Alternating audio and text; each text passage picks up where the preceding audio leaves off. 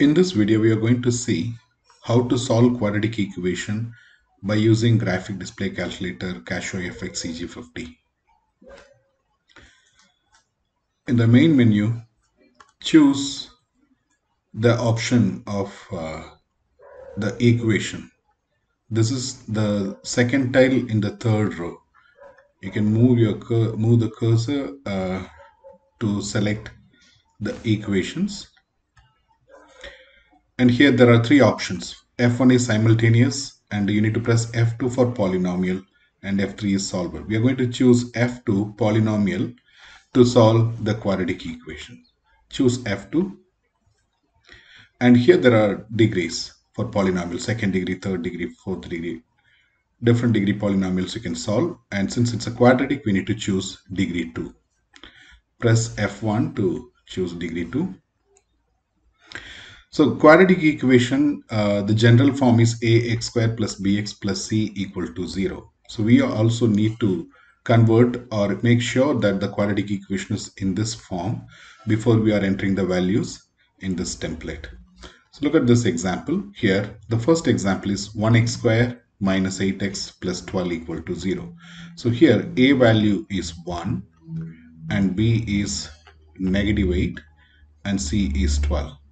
So feed these values in the calculator. In the place of A, you enter 1. And in the place of B, you have to enter negative 8. And in the place of C, you enter 12. And press execute, you get the roots. The first root of this quadratic equation is 6. And the second root is 2.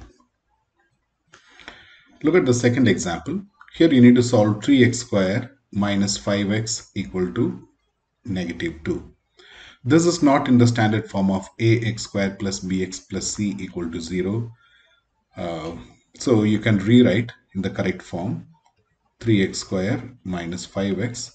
All the terms should be in the left side. So bring this constant also to left side. Negative 2 comes to the right side. Left side become positive 2 which is equal to 0. So thus this is in the form of ax square plus bx plus c equal to 0. In this a is 3, b is minus 5 and c is 2. Okay, so exit here and then here again we are in the polynomial and degree 2 section and we need to remove the values which we entered in the previous questions and enter these values.